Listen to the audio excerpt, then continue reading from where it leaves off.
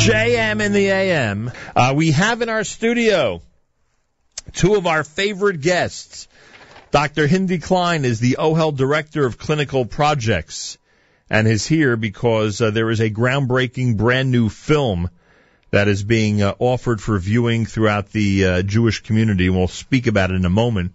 Uh, Dr. Hindie Klein is joined by Derek Saker, of course, Director of Marketing over at the OHEL organization. I say welcome to both of you. Thank you for being here this morning. Good morning, Nachum. Good Thank morning, you for having us. A pleasure. It's great to be here again. I appreciate that. OHEL presents Rising from Divorce, a groundbreaking new film for all members of the community, not just divorcees, but everybody who um, uh, really needs to learn about this topic. And uh, as they say here, who should see this film? Rabbis, community leaders, educators, and more importantly, the entire community. As OHEL makes this film available, it will be shown this coming Sunday in Brooklyn, New York. We'll give you the details in a moment. Dr. Hindie Klein, why is Rising from Divorce such an important film for the Jewish community?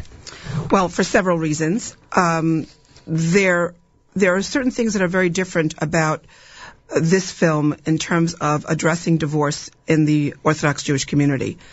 Uh, number one, these are people who came forward. We had a uh, on our website we had a call for people to come to come forward if they wanted to speak about divorce, whether they were uh, divorcees, whether whether they were adult children of divorce, uh, to come forward and talk about their experience and not only what is what they experienced past and present, but what they think should be happening within the community.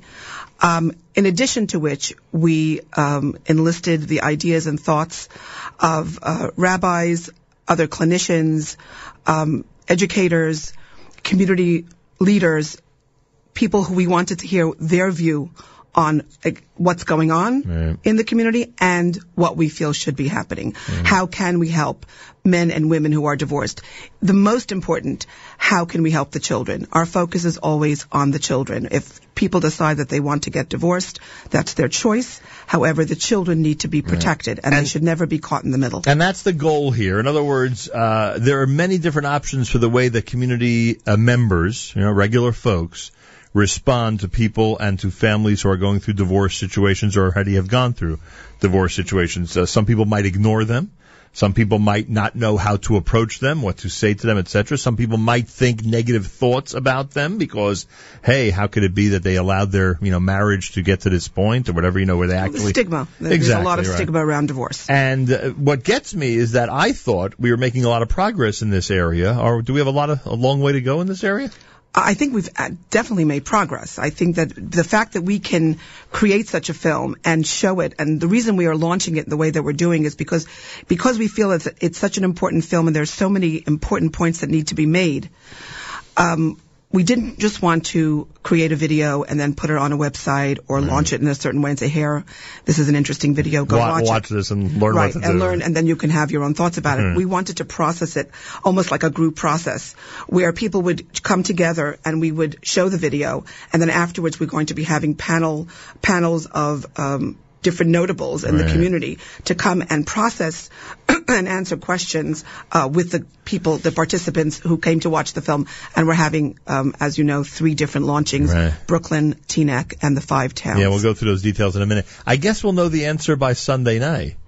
But I'm Uh, but yeah. I'm curious to see if the community turns out for this. I'm really Well, curious I, I, to can, see. I can tell you this. Just in the, the the last day, really, where we've uh, been marketing it aggressively, we've had thousands of hits on the on the video. Whereas a few days we had a hundred and something. Uh, this morning, I think it's over three thousand. So I think that the video does speak very loudly to the community. not not to suggest that people could see the entire movie. That's a trailer you're referring Correct, to. and that and that, as trailer. he says, was deliberate because we the, the this initiative is is way beyond just the video. Obviously, the video is principal uh, in this initial stage uh, as an awakening to the community, but far more importantly is the um, uh, discourse that we hope will emanate from uh, people seeing the video, the video, and then even more importantly, action within the community, whether it's from Rabbonim, whether it's from teachers, whether it's from um, um, uh, uh, other educators, whether it's from neighbors, whether it's from friends. Um, I will be honest, when we started this project, we were very apprehensive, we were very concerned, we weren't sure whether people would come forward because the, the only way we would do this is if people would go on camera and, and share their experiences. Um, and uh, given the nature, obviously, of stigma in our community, and particularly when it comes to divorce, uh, we weren't sure whether people would actually come forward. Um, and so, as Hindie said, we you know we advertised uh, a lot in the community, and we were very surprised. Well, the trailer has a limited number of those people, divorcees and adult children divorced. Does the movie have a lot more? Are there a lot that came forward? Uh, Yes, there are a lot of people that came forward. Again, the the, the video, uh, which which um, is reflective of the the wider message, uh, reflects different perspectives and opinions uh, and concerns and responsibilities from the whole range of the community. In other words, this is not a video just with divorced people. This is a video with, uh, again, with uh, rabbis and educators and, and divorcees and, as children much, of divorce. And as much as both of you would like to see as many divorced people watch this, you would rather the majority of the people who watch it be people who are not Right. from so those th- types of that's one of the main points. This is what we call a community call to action. This is not about just having uh, men and women who are divorced or who are contemplating divorce or who have been divorced to come and watch this video. This is really for everyone in the community. There, there is not, I think you would agree with this. Do you know anyone that doesn't know someone who is divorced? it would be impossible to believe. Exactly. Whether it's a relative, Yeah, it would be uh, a friend, a neighbor, uh, someone they know from high school. Yeah, I mean- Ev- everybody that You, you might argue five to ten people that everybody exactly. know. yeah. Divorce touches, um, you know, unfortunately, divorce touches everyone in our community, and that's why we created this film because we want. It's really we see it as a community call to action. We want members of the community, whether whether they're um, neighbors, friends, regular members of the community, rabbis, educators. Um, clinicians, we want everyone to come and see this film. We feel that it has a tremendously important message. Um, and when we produced this film, just talking, having the men and women, the adult children, and all the other um, uh, clinicians and educators and rabbis creating this video, it was just astounding uh, to see the process of how they came and spoke on camera. Uh, I was there, you know, one of the reasons I was always there with Derek was because sometimes it would be very difficult for some of the members to talk, especially the men and women, and I would always be there to process with it, them afterwards to make sure that, you know, that they were Uh, if okay. I could just say one of the one of the challenges, of course, was that uh, we wanted to give voice and expression to children, um, children who came from divorced homes, and for many uh, reasons we couldn't have these individuals on camera. So what the we did, younger children. younger children, children under 18 who, who are from divorced homes. Uh, and so what we did was we created a form online where they could anonymous, anonymously share uh, their insights, their perspectives on different issues. And we got hundreds of um, incredibly uh, insightful and emotional um, comments from, from children uh, on their concerns, on the messages that they wish to relate to the community and so forth. Um, and um, that, that spurned us even further in terms of um, the, the importance of communicating this to the community. Well, one thing I learned from the trailer, and if you go to the OHEL website, you can watch it. One thing I learned from the trailer, you cannot understand the pain of the husband, you cannot understand the pain of the wife, and you cannot understand the pain of the children. Three separate things, and all of them devastating. All of them are just, you know, like, like people will ask what's better or worse to, you know, physically handicapped later in life, or God forbid, mentally handicapped later in life, and the answer is they're both horrible. And, you know, you, you, you can't understand what any of the people in these particular situations are going through. Well, one of the main focuses of why we wanted to do this was to send a message to the community uh, really about the aftermath of divorce, how it affects the men and women, and really how it affects the children. And our motto is always don't let the children be caught in the middle because of sometimes uh, and the reason that's the motto is because usually they are. they are exactly, and that's some of the comments that we we saw uh, when we got responses from. In fact, a child, of, and I'm sorry for interrupting, but a child of divorce who is not treated that way should consider themselves really lucky based on the way humanity works. Yes. I mean, there are, you know, I do uh, work with couples who are getting divorced, and they they literally come in. I've had situations where couples will come in to see me, and they will tell me we are planning to get divorced, but we want to meet with you because we want to find out how best to deal with this vis-a-vis the children.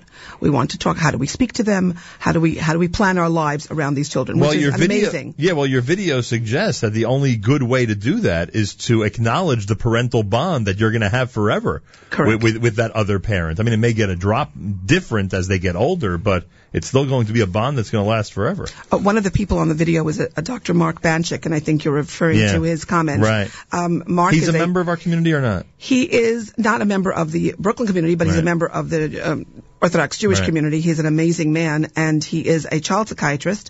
He has also written extensively on divorce. He has written a book called The Intelligent Divorce. He he writes for Psychology Today, and his his thoughts were really uh, very inspirational to us for us all listening to him Right. while we were filming. The reason Um, I asked about his background is because it's, it seemed to me that he was ready to say certain things that others would not. That's right, why I was right, saying. Right, he's a little bit I'm uh, even more out of the box, Correct. And, I, and we were happy to have him Right. uh, so we could get his thoughts and his ideas.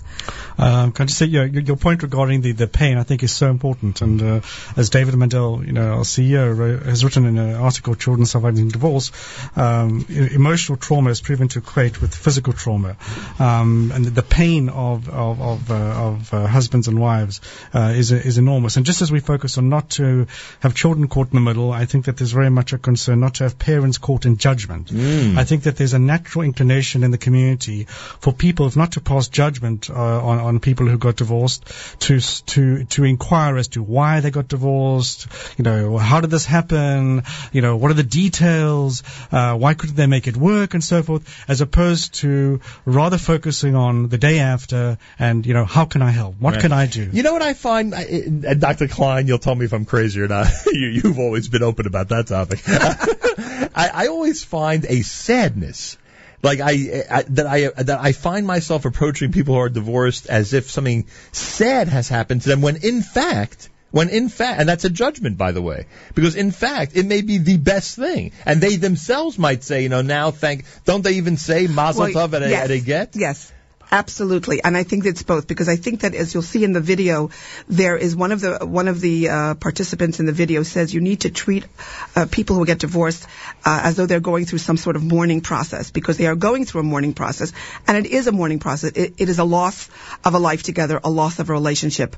On the other hand, very often people will be happy that they're getting divorced ultimately for whatever reason, and they and then you say to them Mazel Tov. And I actually just had somebody come over to me the other day at a meeting, and she said, you know, I want to share this great news with you. And I said, what? She goes, I just got my get, and she was like so excited, and she was hugging me, and I was like so pleased for her. And I said Mazel Tov, and she said, yes, you know, thank God after many years, and um.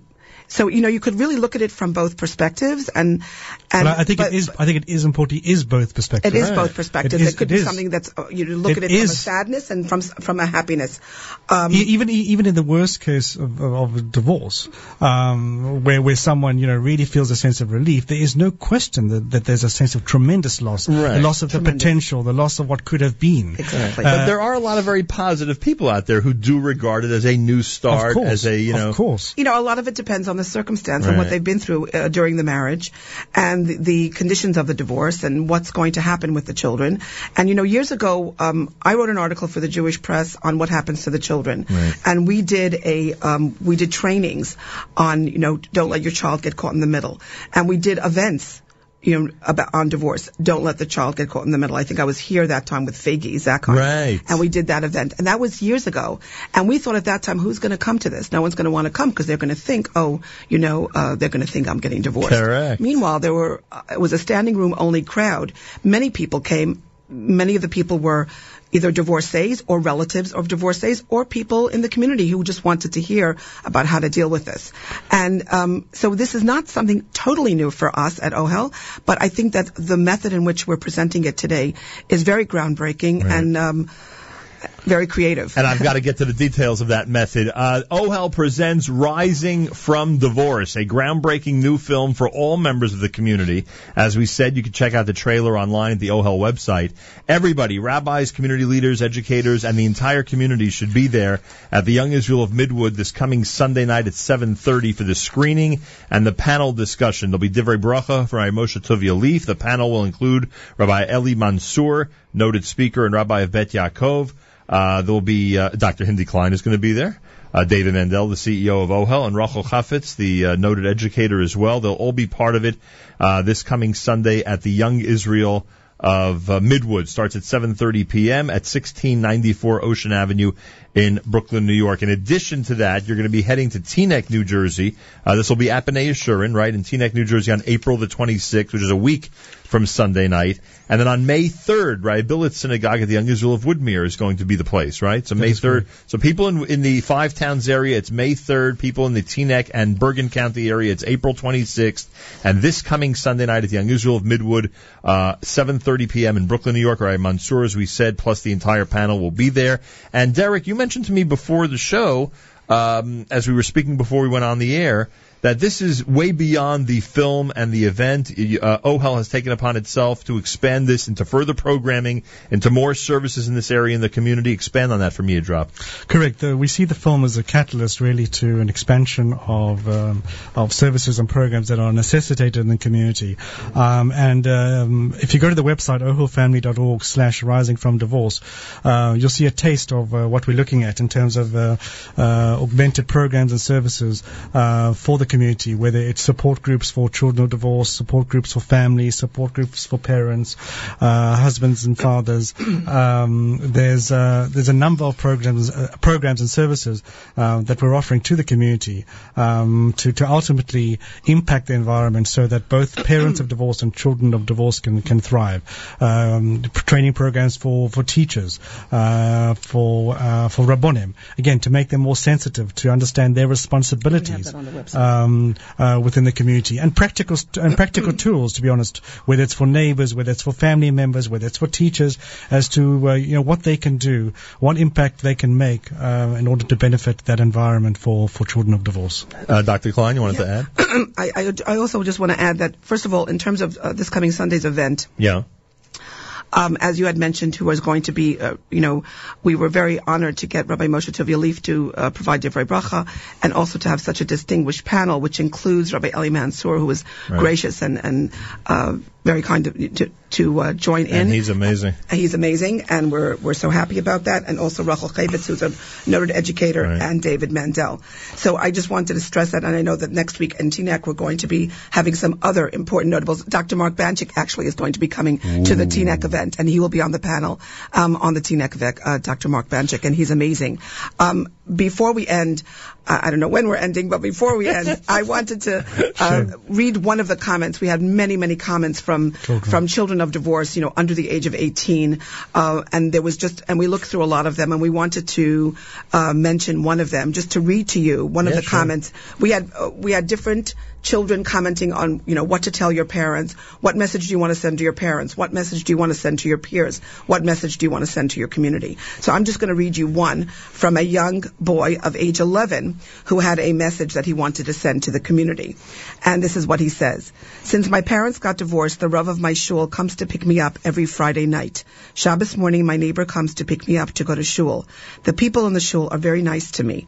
They give me a seat. They usually ask me first to say brachos before the other kids. They dance with me on Simchas Torah. On Purim, we go to sister to sister Suda, where they are very nice and they send gifts and gift cards to my family. Hmm. this is a wonderful example of the goal that we want to achieve by showing this film, processing this film, and taking inspiration from this film. Someone once said on this show, you want to do something for somebody, uh, you want to do something for, you know, uh, a single mother, uh, with children, go over to her and say, I, I'll, I have no problem sitting next to your son in shul, something that she cannot do, obviously. Right. right. And, you know, the father's not around, maybe in a different town or the situation might be. And, uh, and that, that simple act, like you just said about picking somebody up before shul on Shabbos, uh, could be a big difference in, uh, in a child's life. One of the things we should have done maybe, We'll do it on a future occasion. We've probably done it in the past, but I don't remember any show that I've done, frankly. Uh, we should we should invite uh, an adult child of divorce to discuss this because I think, especially if they're as open as we would want them to be, and you probably have come across some that are really open we had on this several topic. that were quite open yeah. and very honest with. They could probably really let this audience have it and let the community have it regarding what we should or should not be doing when it comes to reacting to divorce yeah. to kids from divorced families. Um, yeah, no, I, I, I, agree, I agree. I'll just say this. Why, you're wondering if somebody would do that? No, well, let, me, let, me just qualify. I actually my, can my, think of a couple of people yeah. who would possibly do let that. Let me just qualify my, my uh, what I was going to, my concern. Um, we interviewed, as you know, many people for, uh, people for this video from across the United States, in right. fact, from Canada, Los Angeles, Chicago, everywhere. And, um, and some of them obviously included uh, people of uh, individuals of divorce. Right. The, um, the, the, the, the, tone, however, of the video uh, is not one of uh, criticizing and naming and blaming and so forth. Understood. These, these are not videos where right. you know, they're bashing the ex-spouse. Right. Rather, uh, to the credit of That's these individuals. That's what this forum is for. That's why I'm inviting somebody to come out and let us have it on this topic. Okay. We need a little rude awakening in our community, let me tell you. But you're right. The purpose of the gathering is obviously from a very positive perspective right. to tell the community that we have a role. We have it's a, role to turn. And it's educational. Right. right. And we could turn a lot of very negative situations with just a couple of, you know, the different changes of attitude or a couple of small acts of kindness can change into a very positive experience. Correct. I mean, I think I think it's all, I think it's very clear. It should be clear to the community that uh, you know we have a generation of individuals already reaching the age of uh, shidduchim, That's right. um, who who come from divorced homes. Right. I mean, thousands and thousands of individuals, and you know, how's the community going, going to understand it? Are they going to be dismissed? Are they going to be seen as right. uh, you know not worthy of uh, stigmatized and so forth? Whereas obviously for many of these individuals, they've overcome many challenges in life, and in many ways, it probably makes them an even better person or more sensitive and uh, right. more understanding of this and that. But certainly with enough experience to pass along some important messages correct, to us. That's correct. for sure. I think that the adult children of divorce that we interviewed, that you will see on the video, they really had a lot of very. I mean, everyone has an important message. They right. really do. We had some very, very important messages from everyone. Uh, but if you listen to the poignancy of the adult children of divorce and, and the message they have, what it was like for them growing up, and what they what they're like now and how they are building their own families despite the fact that perhaps their families were very much uh, disrupted and fragmented during the course of their childhood. Right. And they are rising above it as we see, as you'll see in the They've video. overcome a lot of adversity. Yes. Uh, Brooklyn, New York, this coming Sunday. Check out the trailer online. It's pretty cool. I saw it this morning. It's called Rising from Divorce, a groundbreaking new film for all members of the community. Everyone should be there Sunday night at the Young Israel of Midwood. Rabbi, uh, Rabbi Lieff, Rabbi Mansour, uh, Rachel Chafetz, Dr. Hindie Klein, Director of uh, Clinical Projects at OHEL, the CEO of OHEL, David Mandel. They'll all be there. They'll be part of the panel discussion in Brooklyn, 7.30 Sunday. It's at 1694 Ocean Avenue in Brooklyn, New York. The Teaneck event will be on the uh, 26th of April at B'nai Yeshurun. The Long Island event will be on the 3rd of May in the Young Israel of Woodmere. Go to the OHEL website for further information. It is a groundbreaking film, and it should be a very interesting event, no matter which of the three you go to. I just mentioned two things. Yeah. One, uh, I should mention uh, David Jassy and DMJ uh, Productions, the company we worked with with this uh, production. It was many months in the making, and uh, we couldn't have done it without them. And um, and um, Lastly, uh, just to reiterate that this is a video for the entire community. Right. If you're affected by divorce, uh, you can gain the help you need, and if you're a member of the community, um, you can learn how to provide help to others. Well said. Uh, Derek Saker, I thank you. Thank you very much, Nachum. Uh, Dr. Klein, I thank you. Thank you very much. It was good a pleasure luck, to be here. Uh, good luck Sunday night. Thank you. It should be We're a very forward to it. interesting panel discussion, and you'll take Q and A, I assume, from the audience. Absolutely. That's that's part of the process. Yeah, everyone out there will be able to uh, participate in that way. It's quarter before nine o'clock. I thank our guests from OHEL, yet another very important area that they're tackling on a uh, Wednesday morning at JM in the AM.